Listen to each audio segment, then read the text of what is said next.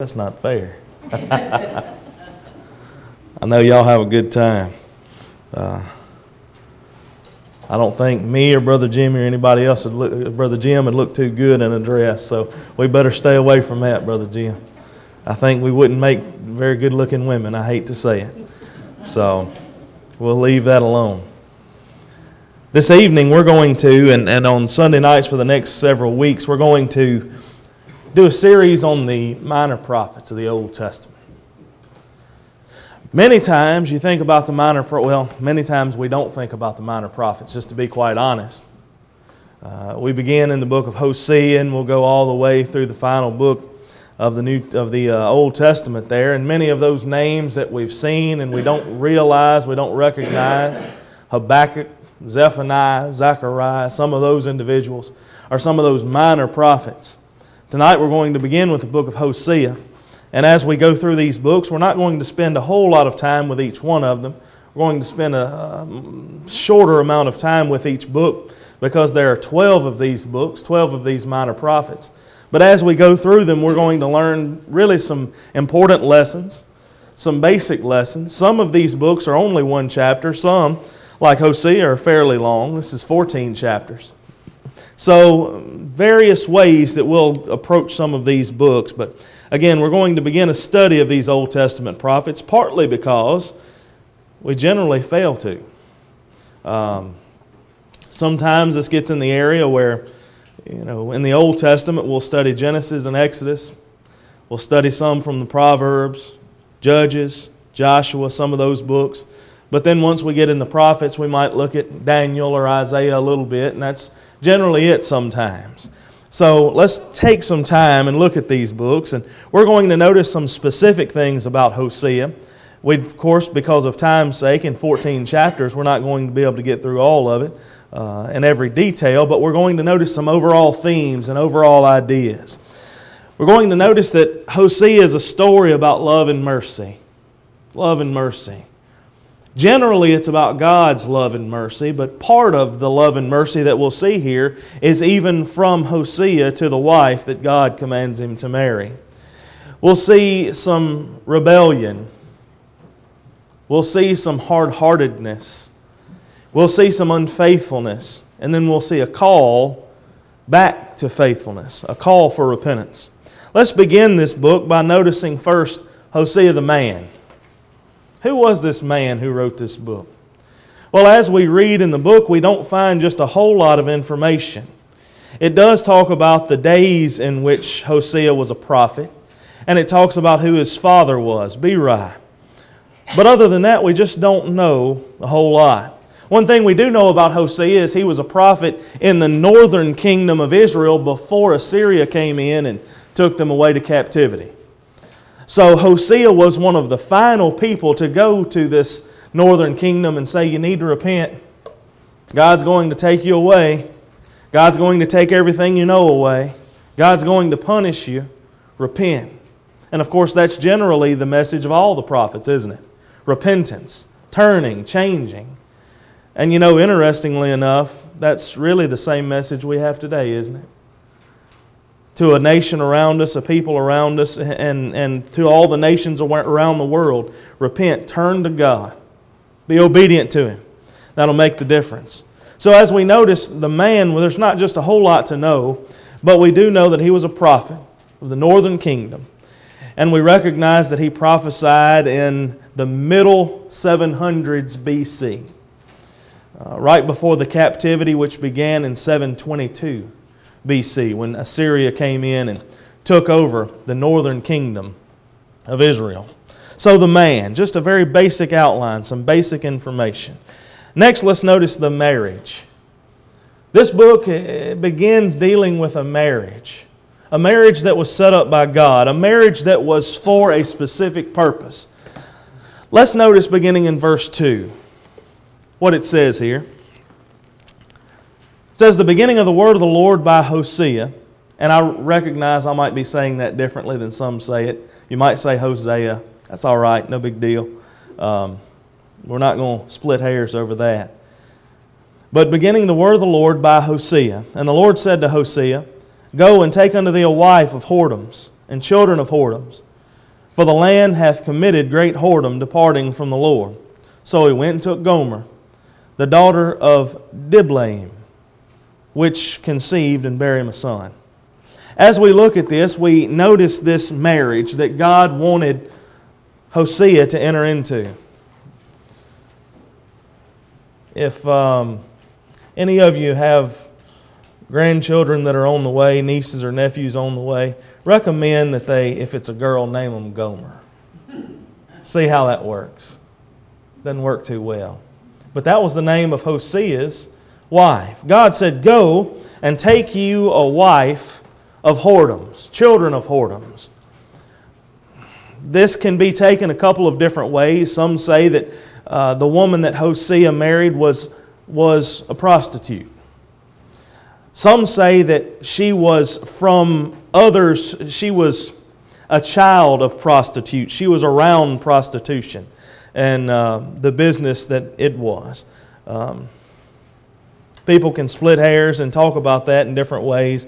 I've got my thoughts, but here's the point of it God wanted this marriage to take place for a purpose, as a sign.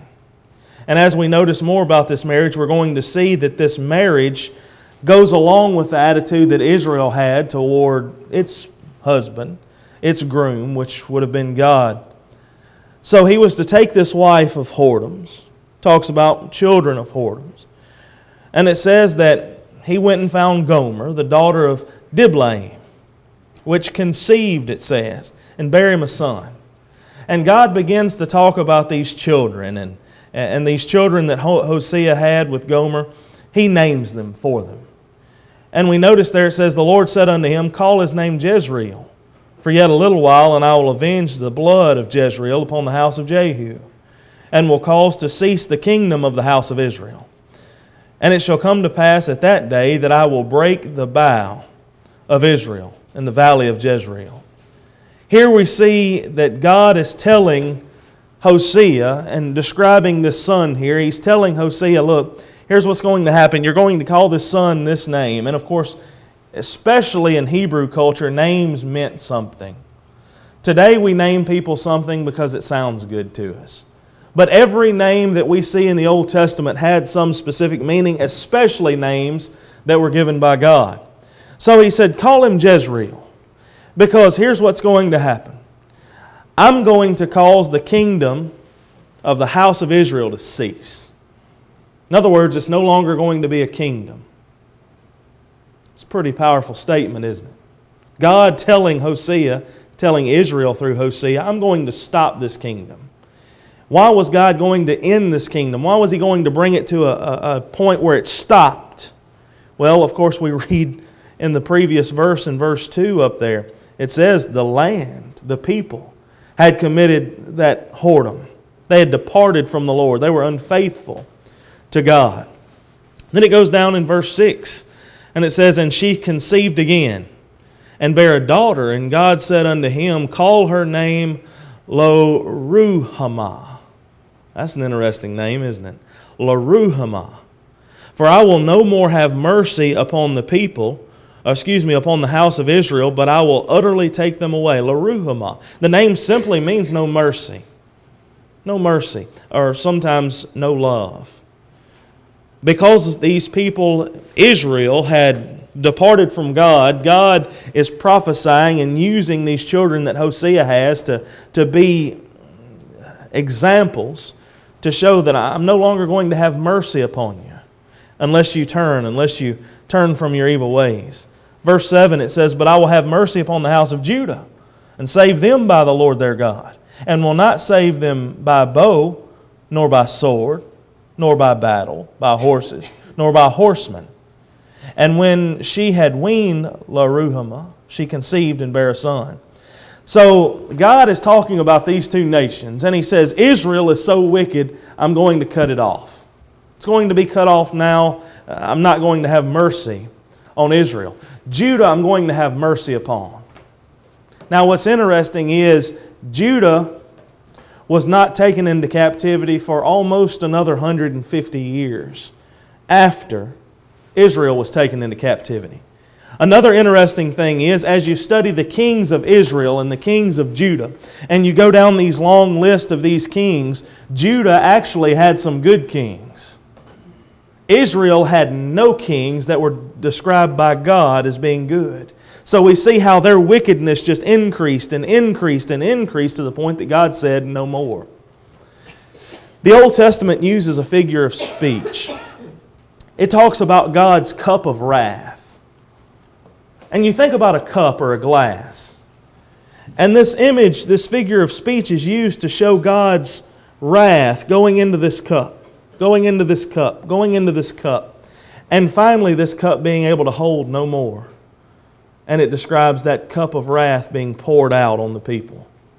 That had happened to Israel. That had happened to the northern kingdom. God had had enough. So it was time to take away their mercy. He was going to put them in captivity. But Judah, they're going to have mercy because there is some, some faithfulness there, although it would continue to decrease. So, verse 9 it says, after it talks about that daughter, Laruhamah, it says, Then said God, Call his name Loammi, for ye are not my people, and I will not be your God. Yet the number of the children of Israel shall be as the sand of the sea, which cannot be measured nor numbered. Shall come to pass that in the place where it was said unto them, Ye are not my people, there it shall be said unto them, Ye are, my, ye are the sons of the living God.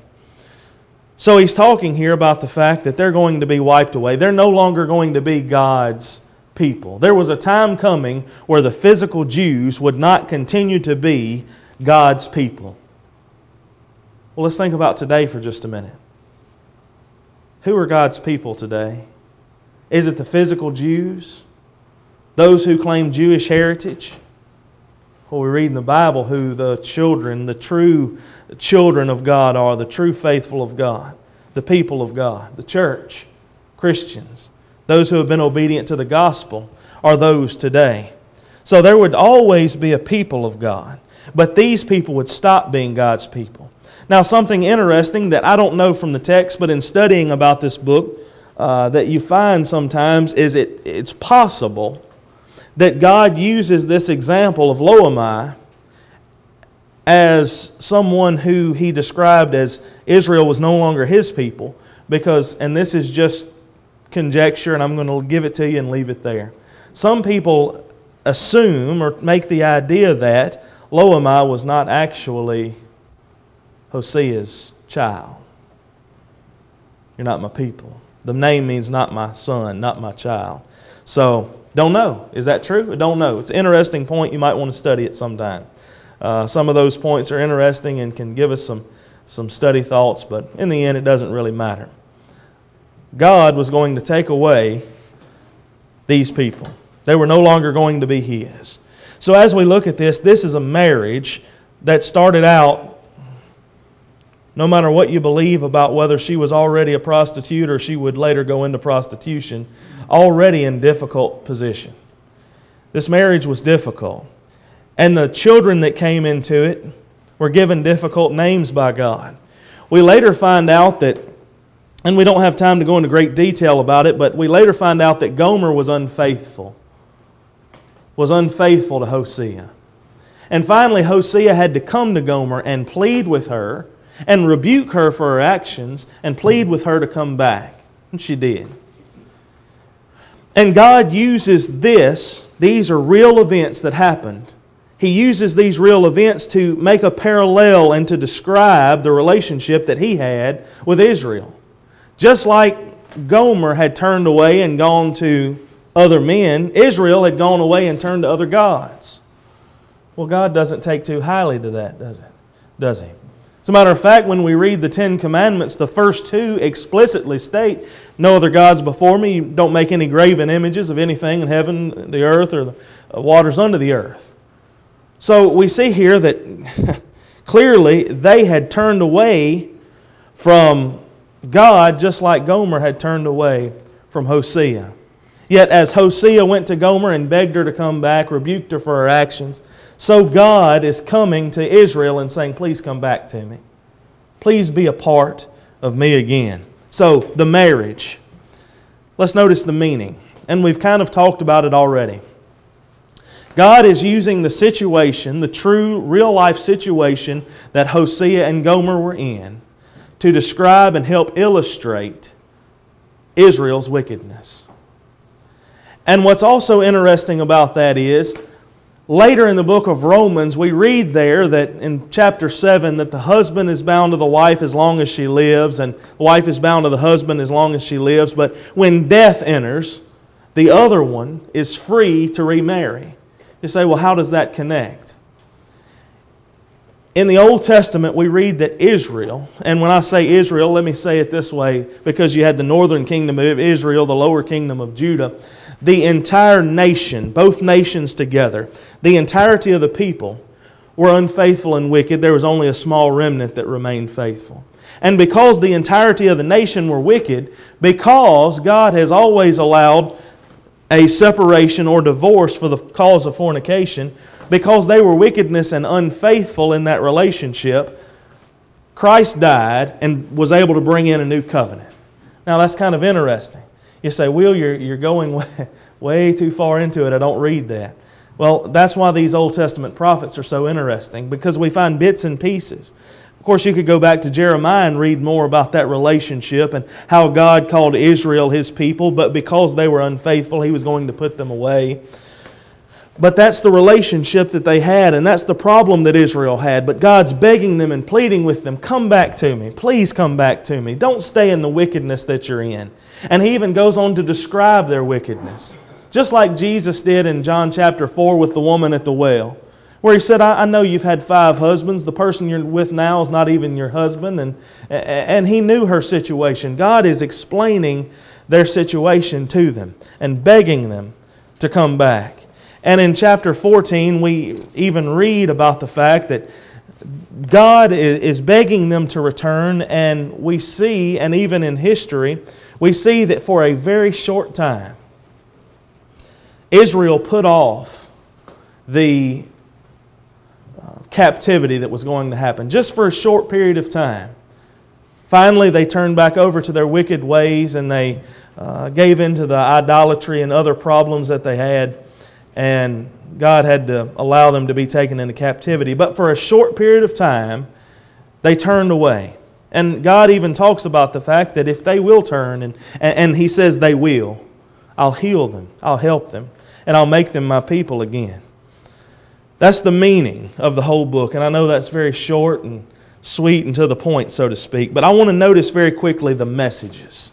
The messages. And as we notice some of the messages here, we're going to go to some specific verses that might even ring in your ears. You might say, hey, I've heard that one, I know that one. And we're going to go to some of these verses and see their significance in the time and then the significance today. Let's begin by noticing chapter 4 and verse 6. Hosea chapter 4 and verse 6. This is a passage we use to talk about the importance of study and learning and growing in our knowledge of what God wants us to be, and rightly so. But let's notice the context of it. My people are destroyed for a lack of knowledge. Because thou hast rejected knowledge, I'll reject thee. Thou shalt be no more priest to me, seeing that thou hast forgotten the law of thy God. I will also forget thy children. Here, God's telling them, You have allowed the knowledge of idols to enter into your mind, and you failed to remember the knowledge of me. They had put God out of their minds. And you know, that's what we do when we fall into wickedness and sin, don't we? It's hard for us to sin when we have God in our minds and in our consciences. But when we pull God out of our minds and out of our conscience, out of our thinking, when we pull God out, it's easier to sin. Well, they had taken God out, taken the knowledge and the understanding of God out, and they had begun to follow after these idols. God said, Because you've rejected the knowledge that I've given you, I'll reject you. You're not going to be a priest for me anymore.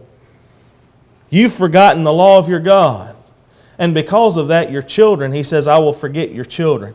He doesn't mean by that that you're wicked and your children are going to be cut off completely because of it. The idea is they're going to suffer for your wickedness. because these people children these people's children were the ones that went into captivity in Assyria. Your children are going to be punished for your actions, which is important for us to remember. Some people say we're not an island. In other words, what we do affects other people around us. Our actions affect our children. Uh, our actions might affect generations far to come. We have to be careful. We have to make sure that we're looking to God and keeping God where He should be. And make the application today. Thy word have I hid in my heart that I might not sin against thee. We need to keep God in our knowledge and in our understanding. Let's also notice chapter 4 and verse 11. Says, Their whoredom and wine and new wine take away the heart. Sin gets into our minds and into our hearts. And sin wants to take us away from God. And that's why we have to be so careful and so cautious.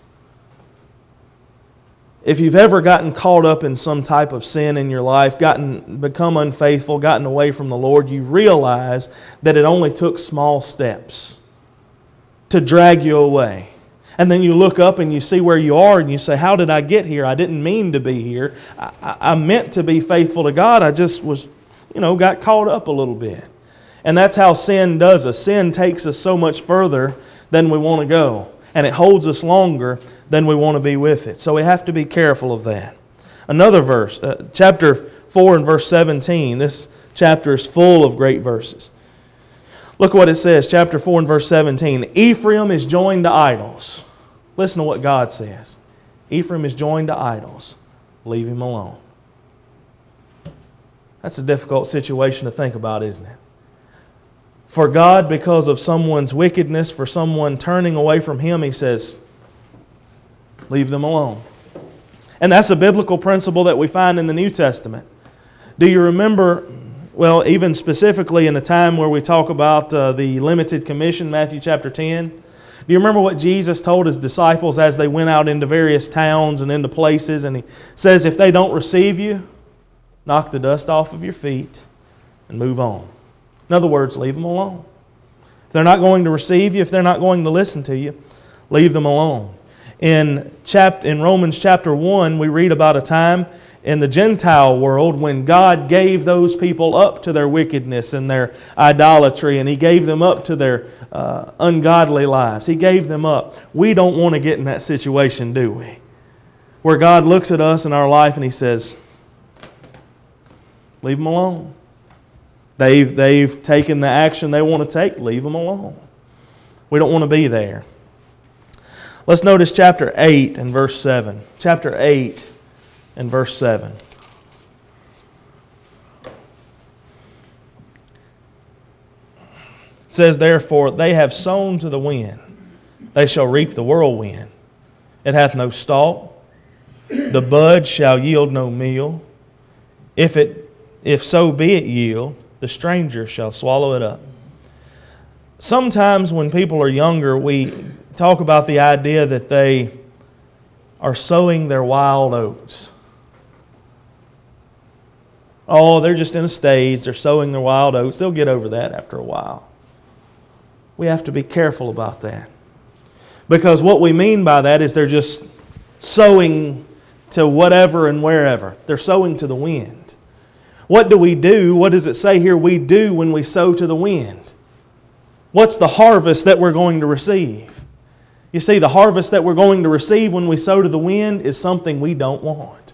It's a whirlwind. It's going to grab us and take hold of us and make us unable to do the things we want to do. It talks about that whirlwind. If we sow to the wind, we receive that whirlwind. It doesn't have a stalk, it doesn't yield anything good. You're not going to get anything from it.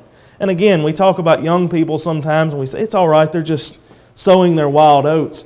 Listen, during that period of time that we give them some leeway and say they're sowing their wild oats, they destroy their lives. And they spend the rest of their time trying to correct those things and get over those things that they had to get into because we said, well, they're just, you know, they're just doing what they do. If you sow to the wind, you reap a whirlwind. That's true back then, that's true today. We have to be careful of it. Chapter 10 and verse 2. Uh, excuse me, verse 12. Chapter 10 and verse 12. He talks about not sowing to the wind so we receive a whirlwind. What do we sow? Well, he told them, Sow to yourselves in righteousness, reap in mercy. Break up your fallow ground or your untouched ground. For it is time to seek the Lord till he come and rain righteousness upon you. Now, isn't this a complete 180 from what he was just talking about? If you sow to the wind, you're going to receive a whirlwind. And nothing that comes from that's going to be any good. But if you sow to yourself righteousness, if you sow the seed of righteousness, listen to what you're going to get. You're going to get mercy. If you break up your ground, that ground that's been untouched, break it up. Seek God, and what does it say He's going to do? And this is amazing. It says, Till He come and rain righteousness upon you. That's the harvest I want. Isn't it the harvest you want? Chapter 12 and verse 6. Chapter 12 and verse 6. says, Therefore, turn thou to thy God.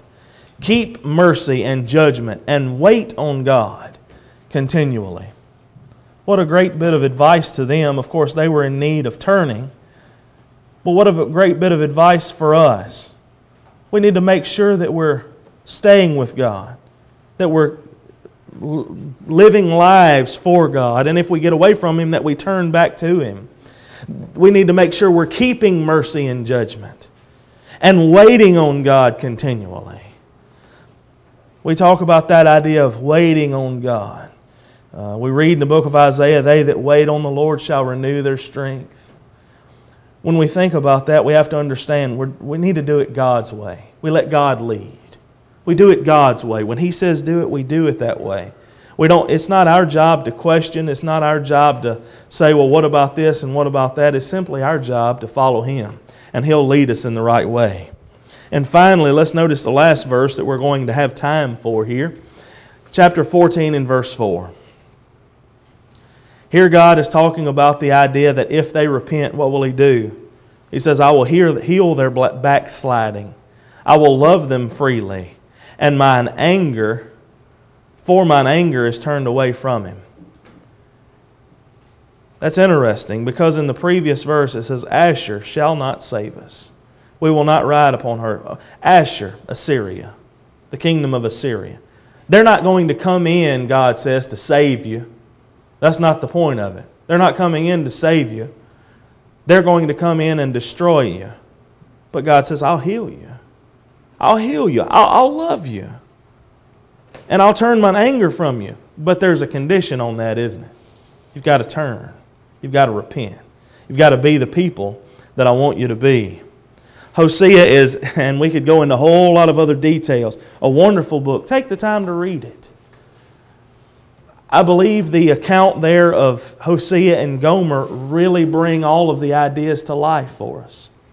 Because we see a husband and wife, the husband wants so, so much for this relationship to be what it should be. The wife goes on and does what she wants to. The husband has to come and beg her back, please, please come back to me. You know you've done wrong. Come back to me. Be with me again. And it's the perfect mirror image of what God's doing to Israel. God's loved Israel. He wants Israel to do well, but they've turned away from Him. So He comes back to, the, to them in the form of Hosea and also Amos. Amos is another person who prophesied in the same period of time to the same people. He used those individuals to come to them and say, Please come back to me. Please repent. Please return to the way you were when you followed me and you loved me. And if they would do that, they would be accepted again. But of course, we know the end of the story. They didn't. They might have for a short time, but they didn't continue to keep it that way. In the New Testament, we read an example of a church, the church of Ephesus. Paul wrote at least one letter that we know of to the church in Ephesus. That church had some of the greatest preachers the New Testament ever knew Apollos, Aquila and Priscilla, Paul, Timothy had those individuals that were preachers from time to time for them. They had so much going for them. But in Revelation chapter 2, Jesus writes to them through the hand of John You've left your first love. And because you've left me, I'm going to come and take away your candlestick. What he means by that is, you're not going to be my people anymore. Let's make sure that we remember and we recognize that as long as we are on God's side, God's on ours. But if there's any point in our life when we're not on God's side, it's not because He left and it's not because He's trying. It's because we failed to do what was right and we turned our back on Him. Tonight we have to look at ourselves and ask the question are we being faithful to God? Are we doing what we should? Or are we like that wife Gomer who's given herself over to, uh, to uh, wickedness, prostitution? Are we like that? You see, we don't like to see ourselves like that, do we? But sometimes we have to be honest and be real and say, I'm living in a way that I shouldn't live. God gives us a simple answer to that turn back to Him. Might be that tonight you're a child of God, but you haven't lived for Him. Turn back to Him. Turn back to Him. And like uh, last week, Tony mentioned in his sermon, as we talk about the prodigal son, if you'll come back to Him, He'll embrace you and He'll love you down. What a wonderful idea that God loves us so much that when we get there, when we turn back to Him, when we run back His direction, He'll run ours and He will love us down. Might be you're not a child of God, I don't know. Maybe you haven't done what you should to become one by being immersed in water for the remission of your sins. Let's take care of that tonight. Whatever your spiritual need is, let's, let's, let's work together. Because at the end of the day, if we're not in heaven, it's our fault. And we haven't made those arrangements. You know, just like you have to make an arrangement at a hotel, there are arrangements to be made in heaven. It's often called a prepared place for a prepared people. Jesus said, I go to prepare a place for you. Is that reservation that He's making for us? I hope so. If it might be that you look up and tonight and say, I don't know if it is or not, let's make sure it is before you leave. The opportunity is now. The song's been selected. If you will come to the front while we stand and sing, you'll have that opportunity. So please come.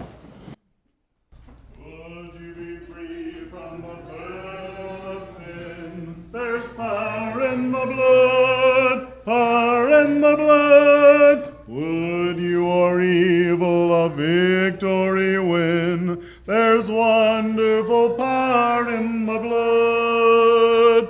There is power, power, wonder working power in the blood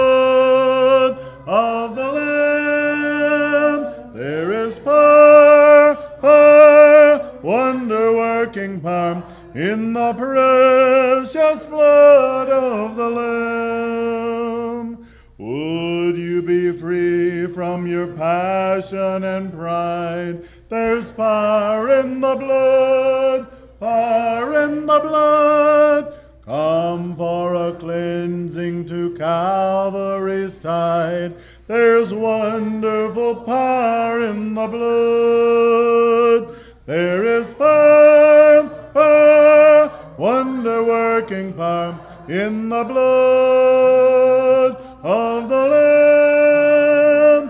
There is power, power, wonder working power in the precious blood of the Lamb.